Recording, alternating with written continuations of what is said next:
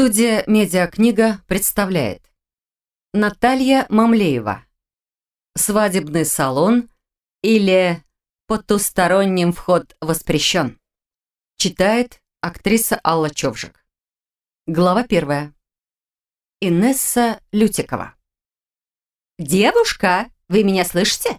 Девушка, вам какие?» Я подняла растерянный взгляд на кассиршу. Она определенно о чем-то меня спрашивала, но задумавшись, я совершенно пропустила ее вопрос. «Сигареты, говорю, какие?» — повторила женщина. «А, сигареты, точно-точно. Я судорожно начала вспоминать все известные мне марки сигарет.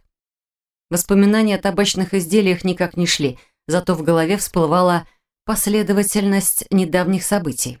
Однокурсники, карточная игра, мое феноменальное фиаско. Знакомьтесь, Инесса Вячеславовна Лютикова. Счастливчик по жизни. Если судьба чередует черные и белые полосы, то я обязательно буду идти перпендикулярно по черной полосе. Проиграла почти все партии, ни одной победы. А потому и желание мне загадали самое каверзное. Постарались, так сказать, сокурсники. Так что теперь я стою на шпильках и придерживаю одной рукой бутылку вина, другой простыню – которая, несмотря на тугой узел, так и хотела с меня сползти. Еще бы. Был бы там на чем держаться. «А Винстон синий», — ответила я. Женщина, кивнув, подняла жалюзи и внимательно осмотрела стеллаж. «Они закончились, может, есть на соседней кассе? Посмотрите?» «Отчего бы не посмотреть?» С улыбкой отозвалась я и с мученическим выражением лица обернулась. В очереди раздались смешки. Смешно им. Мне не очень-то. Оставив бутылку вина и паспорт на этой кассе, я потянулась к верхнему стеллажу соседней. Лишь бы просто не упала, лишь бы не упала. Ух, удержалась. Иначе быть мне звездой роликов на Ютубе.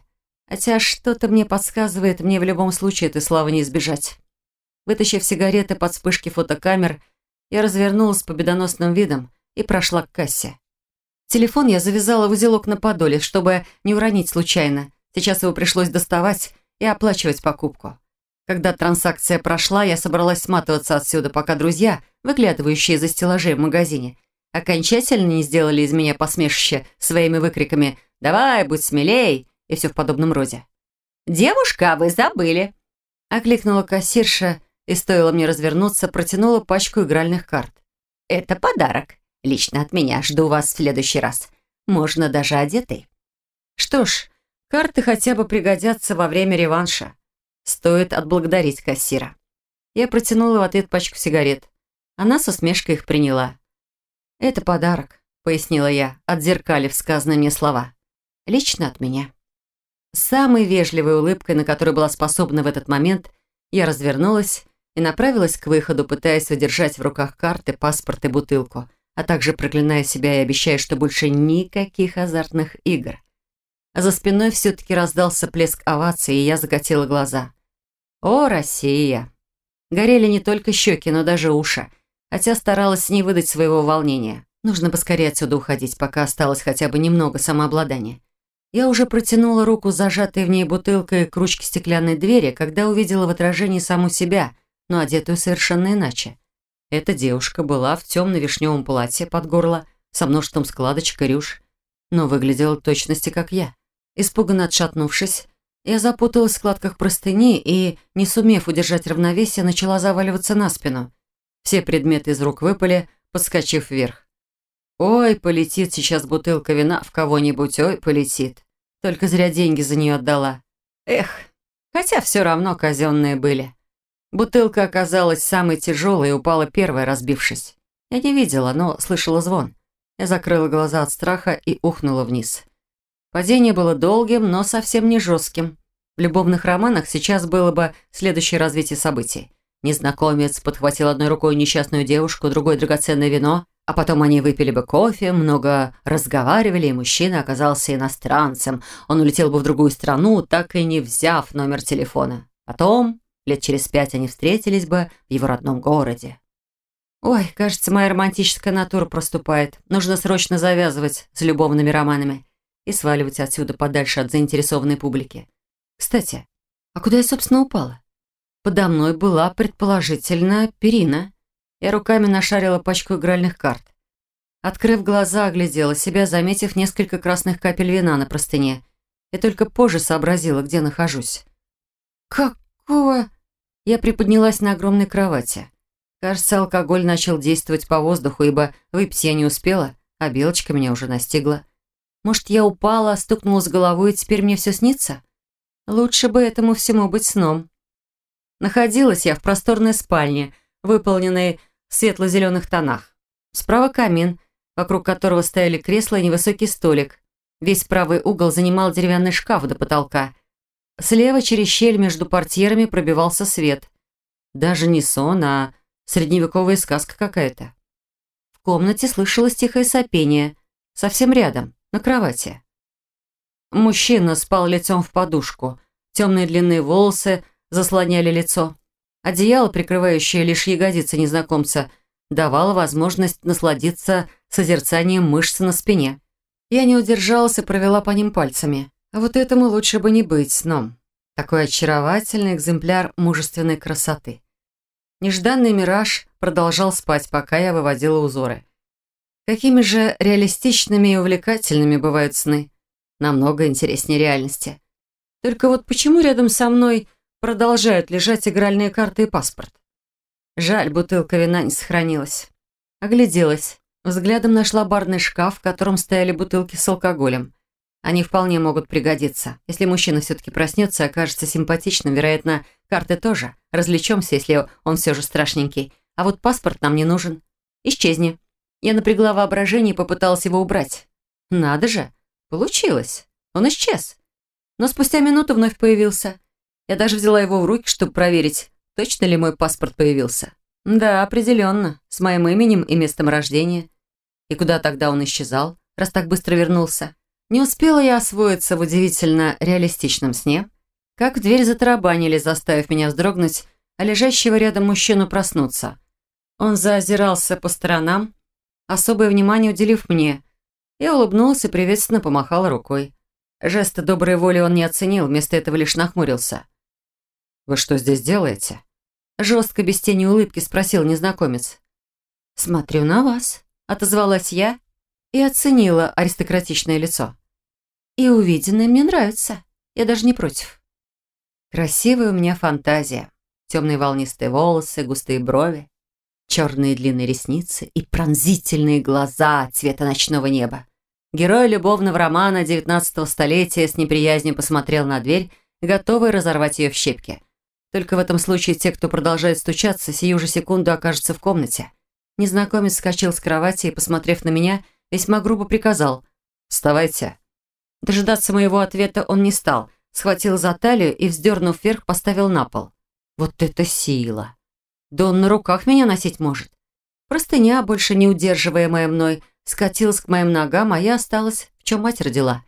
Незнакомец прошел едва ли заинтересованным взглядом по моему телу и бросил мне в лицо простыню с кровати.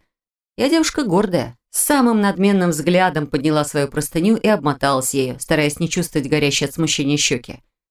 Кажется, он видел мой первый размер. Почти второй, между прочим. Смотря какая компания производитель бюстгальтеров. Незнакомец долго церемониться не стал – Рывком перекинув меня через плечо, он потащил меня к шкафу. Я испуганно смотрела в сторону кровати, пытаясь вырваться. «Отпусти меня! Эй! Ты слышишь, неандерталец, отпусти меня сейчас же! Да я засужу тебя!» «Что сделаешь?» — с усмешкой спросил он, так и не став слушать мой ответ, швырнул в шкаф, закрыв дверь на ключ. «Вот это наглые фантазии нынче пошли! Вы посмотрите на него! Эй! Ты! Да как ты смеешь?» Возмутилась вроде громко, но мой голос будто тонул в пространстве шкафа. «Выпусти меня сейчас же!» Но чувствовала я, что меня не слышно, зато звуки в комнате были прекрасно различимы. Что это за технологии такие? Может, я попала в комнату какому-нибудь европейскому принцу? Но я определенно не помню его лица. А особо королевских кровей люди медийные. Что ж тут происходит? Опять принимаю все за реальность, а это ведь сон. Пока я недоумевала, открылась дверь, и в комнату вошли несколько человек. «Ваш чай, Ян Арс?» прозвучал женский голос, и следом за ним еще один мужской, требовательный. «Где моя племянница?» Откуда мне знать? Равнодушно отозвался мой утренний визави. Если вы помните, я вчера отправился спать рано. «Да-да, вы вчера выглядели сонливым», — подтвердил женский голос. «Может, вам кофе вместо чая?» «Благодарю, Лиска, не стоит». Отозвался тот, кого назвали Арсом. «Еще вопросы, Ян Кроун?» У меня вопросы были. Я даже попыталась задать их вслух, но все они по-прежнему пропадали в пустоте шкафа. Так, в конце концов, это же мой сон. Я могу изменить местную реальность. Наклонившись к замку, я увидела щеколду и представила, что ее не существует. Вуаля! И она исчезла. Опасаясь, что она вновь появится, как паспорт, я поспешила выйти из шкафа. С этими моими способностями я могла бы стать настоящим авторитетом преступного мира. Но пока я им не стала, пришлось иметь дело с полным шоком местного населения. На пол упал чайный сервиз вместе с подносом, который держала полноватая женщина, надо думать, та самая Лицка. Раздался ее изумленный вскрик. Я неприязненно поморщилась и крепче ухватила за свою простыню. Представительный грузный мужчина, видимо, Кроун, недовольно сдвинул брови и, подойдя ко мне, накинул свой камзол на мои плечи. Противиться я не стала, лишь запахнула его покрепче, почувствовав себя увереннее. «Спасибо», — поблагодарил я мужчину. «О, милостивая богиня!» Внезапно истерично воскликнула Лиска, возведя руки к потолку и оглядев меня, точнее мою простыню, с каплями красного вина. «На ней же кровь! Ян Арс, как вы могли запятнать честь благородной девушки?» Честно, тому самому Яну Арсу, моему утреннему визави, сейчас не до причитаний пожилой женщины. Его заботила реакция Яна Кроуна. Он, скорее всего, мужчина не из простых, о чем говорили дорогой костюм с атласным платком, причудливо повязанным у горла, начищенные туфли и белоснежные манжеты. А вот женщина, судя по всему, домработница. На ней было черное платье в пол, белый воротник и такого же цвета чепец. Настоящая горничная XIX века. Ян Кроун повернул меня к себе и опустил руки на мои плечи. Его театральный жест не внушал доверия. «Инесса, дорогая, как ты могла?» Запричитал, как я уже поняла, мой родственник, что он подтвердил своими следующими словами. «Дорогая племянница, как мне жаль тебя! Ах, этот обольститель! Зря, зря мы приехали в этот дом, но теперь уже поздно о чем-то сожалеть, нужно как-то решать сложившуюся ситуацию. Ян Арс, как благородный человек, вы обязаны взять на себя ответственность». В этот момент мы с вышеупомянутым молодым человеком подавились воздухом. Вот к чему, а к этому мы были не готовы. Нет, о подвенечном платье я всегда мечтала, и учиться на дизайнера пошла из-за детской мечты открыть свой собственный свадебный салон. Но выходить замуж за незнакомца? Вот шувольте. Тот самый момент, когда я хотела расставить все по своим местам и категорично отказаться от столь щедрого предложения, в комнату вошла высокая элегантная женщина. Ей могло быть и 30, и все 40. Мудрые глаза в купе с молодой внешностью создавали привлекательный образ. Темные волосы были уложены в строгую прическу и скрывались под полями небольшой шляпки с перьями и крупными цветами. Юбка бархатного темно-синего платья слегка поблескивала при ходьбе, а длинные рукава с воланами делали фигуру женщины еще более утонченной. Весьма загадочная личность. «Что здесь происходит?» – спросила она четко поставленным голосом. Мне сразу же захотелось выразить ей свое почтение и поклониться. Что за странные мысли? Будто передо мной особо королевской крови. Или так это и есть? По крайней мере, если в моем сне есть королева, то она должна выглядеть именно так. «Яна Ариетта», — обратился к вошедшей дядюшка. «Попутного ветра вам в это пасмурное утро. Вынужден омрачить его еще больше. Ваш младший сын обесчестил мою племянницу. Ваш клан обязан взять на себя ответственность». Незнакомка вздернула бровь и смерила меня оценивающим взглядом.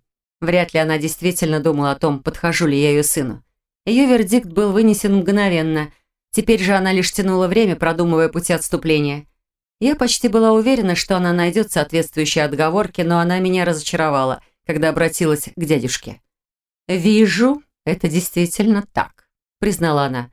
Наш клан не запятнает свою честь недостойным поведением. Мы будем вынуждены взять на себя ответственность.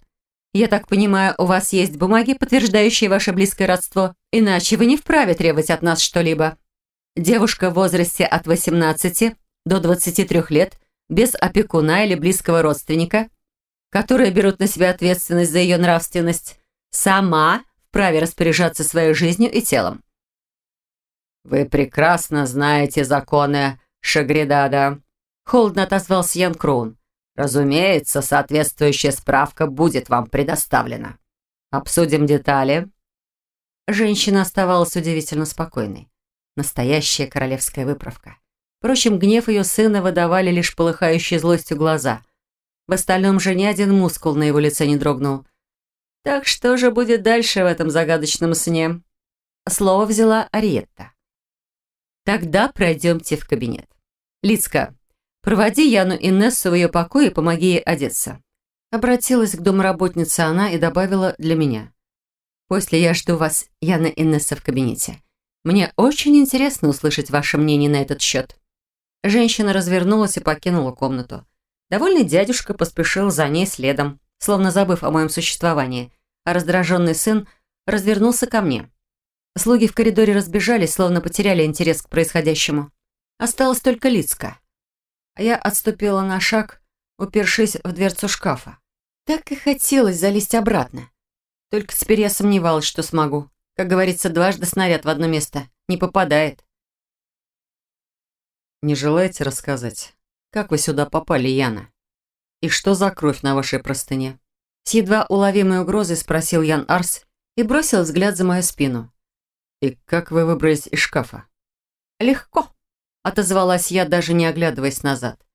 От дальнейших расспросов меня спасла причитающая домработница. «Ох!» Ян Арс, да как же вы могли? Ох, да что же делается? Как же теперь быть-то? Как, как? Раздражение переполняло молодого человека. Но при этом он не отводил взгляда от меня. Жениться будем. Да как же так? Сплеснув руками, спросила недалекая служанка. На невесте даже платья нет, простыня одна. А в простыне приличные Яны замуж не выходят. Вот в этом я могла с ней согласиться. Мы встретились с Яном Арсом взглядами, и мужчина едко заметил, будто насмехаясь надо мной. «Зато простынка белая». С этим трудно не согласиться. А я что? Подняла подбородок выше и фыркнула. Выходить замуж в белой простыне, пусть даже и во сне, мне еще не доводилось. Признаться, мне вообще не доводилось еще выходить замуж. А хочется.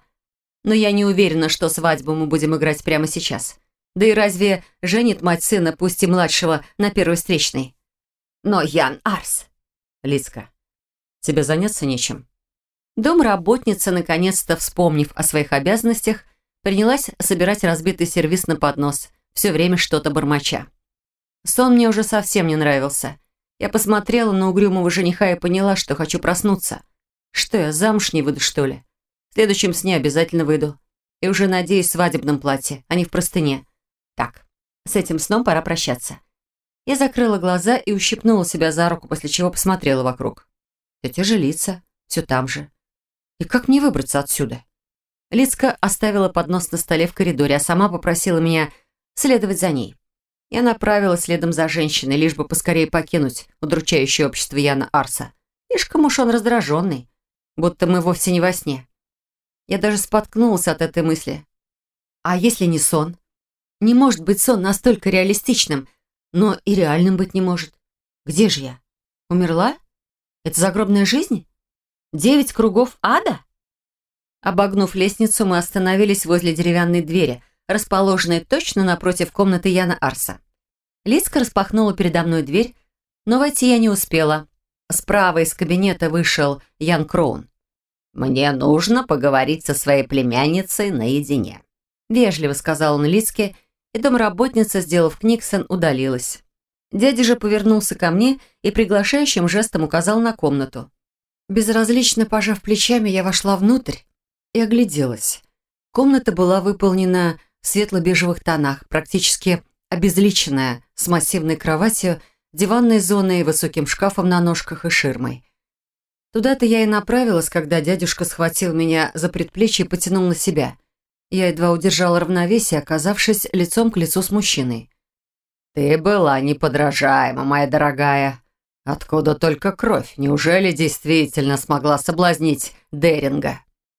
«Это красное вино», — отозвалась я, чувствуя себя неуютно от близости с мужчиной. «Вино?» — Нахмурившись, переспросил мужчина. «Жаль, что не твоя кровь. Тогда иди за ширму, отдай мне простынь». «С чего я должна вас слушаться?» Приподняв бровь, спросила я, и мужчина улыбнулся. «Давай не будем спорить хотя бы сегодня. Иди за ширму». Что-то было такое в этом мужчине опасное. Я не посмела ослушаться и выполнила его приказ.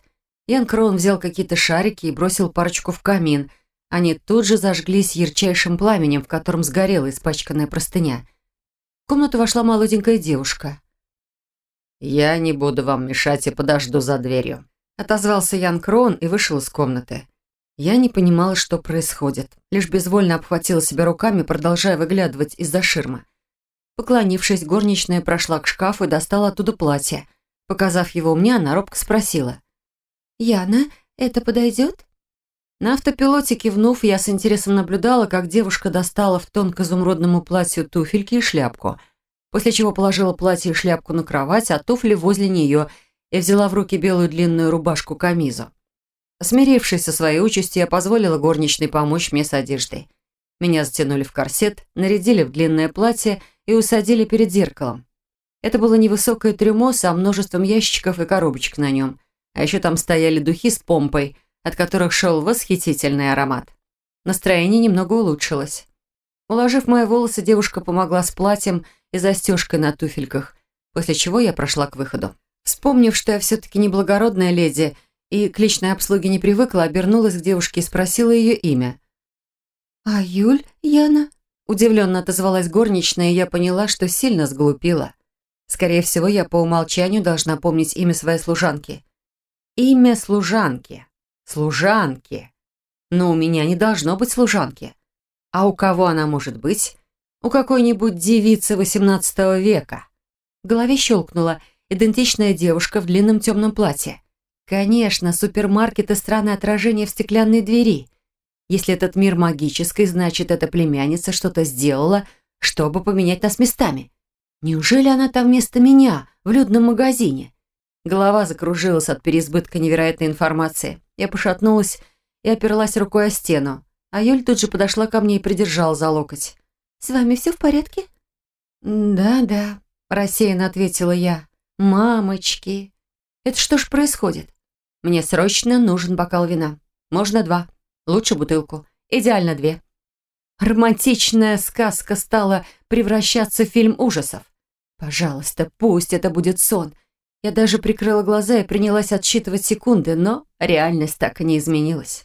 Посмотрев на девушку, которая проявила ко мне хотя бы малое участие, я оттолкнулась от стены и вышла из комнаты. В коридоре меня ждал Ян Кроун.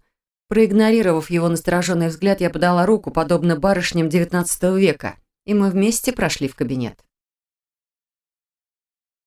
На этом книжка подошла к концу. Это был ознакомительный отрывок. Полную версию книги вы можете скачать или прослушать онлайн, перейдя по ссылке в описании под видео.